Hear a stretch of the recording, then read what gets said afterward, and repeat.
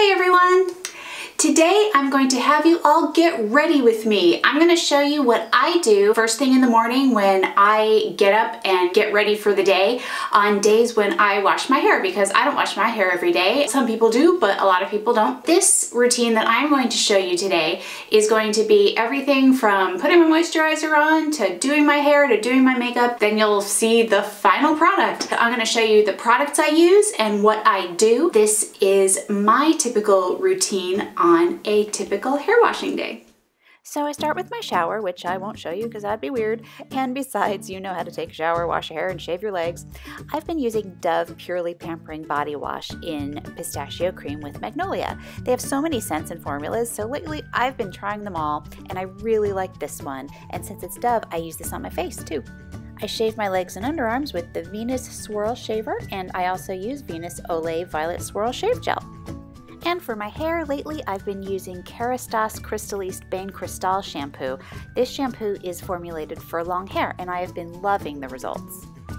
And I condition with Kerastase Chroma Riche Masque. This is a very rich, buttery hair mask that's awesome for color treated hair.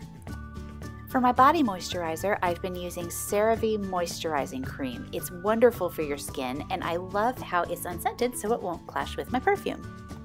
And here I am right out of the shower. For my facial moisturizer, I've been using Aveeno Ultra Calming Daily Moisturizer. It's great if you have redness like I do. For my eye cream, I've been using L'Oreal Revitalift Eye Cream. I swear by eye cream. My favorite scent at the moment is Flower Bomb by Viktor & Rolf. It's very flowery, and since I love florals, I am loving this fragrance.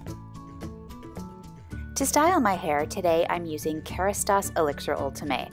I take a small amount and work it through my hair and then I comb it out to distribute the product evenly. Now it's time to dry my hair. First, I rough dry my hair to get the moisture out without damaging it. Then I dry my hair straight with a paddle brush.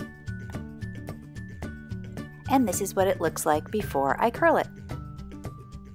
To curl my hair, today I'm using a 1.5 inch Hot Tools Ceramic TI Tourmaline Curling Iron.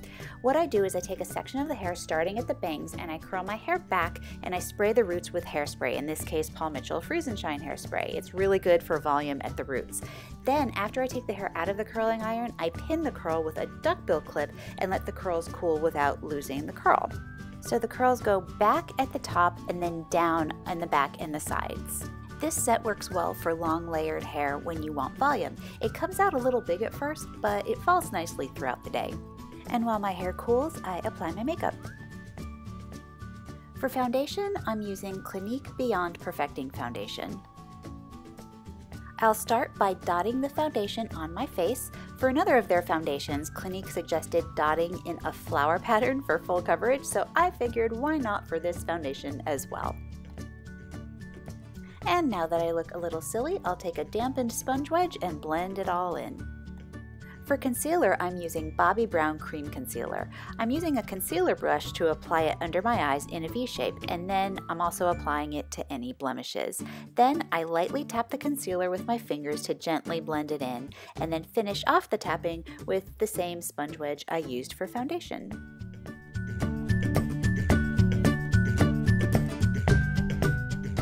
For powder, I'm using Clinique Blended Face Powder, and I'm using my Bobbi Brown powder brush to apply it.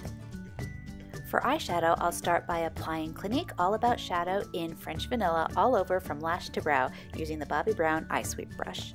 For the lid color, I'm applying Urban Decay Sidecar from the Naked palette using the Bobbi Brown eyeshadow brush. For the contour crease color, I apply Urban Decay Buck, also from the Naked palette, using my old Bobbi Brown eye contour brush. I have had this brush forever, but I love it because I find it to be the best brush for that sideways V contour. For my brows, I just take a spoolie brush and brush them down and then up and over. I just keep them natural but neat. Then for eyeliner, I'm using Clinique Quick Liner for Eyes in Black Brown. And then I smudge the eyeliner with a Bobbi Brown eye smudge brush. My little trick, if you need to blend your eyeshadow a little bit more, is to take a sponge wedge, do not dampen it, and lightly blend your eyeshadow up and out from lid to brow bone, but just do this lightly. For blush, bronzer, and highlighter, I'm using the Urban Decay Naked Flush palette in Strip. First, I'll apply the bronzer to the hollows of my cheeks with a Bobbi Brown Sheer powder brush. Then I'll apply the highlighter to the tops of my cheekbones with the same Bobbi Brown Sheer powder brush. I just wiped it off first. And then after that, I apply the blush with a Bobbi Brown blush brush.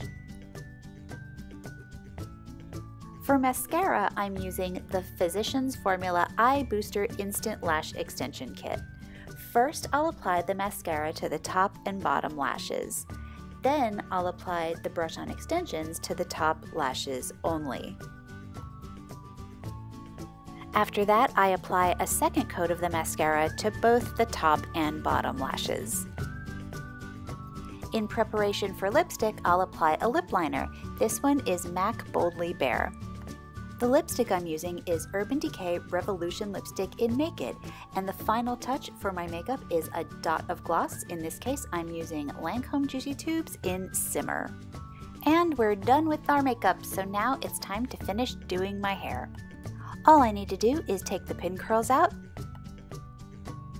tousle my hair, style it with my fingers, and apply a little hairspray just lightly. It does come out a little big at first, but it falls nicely throughout the day. And I'm done.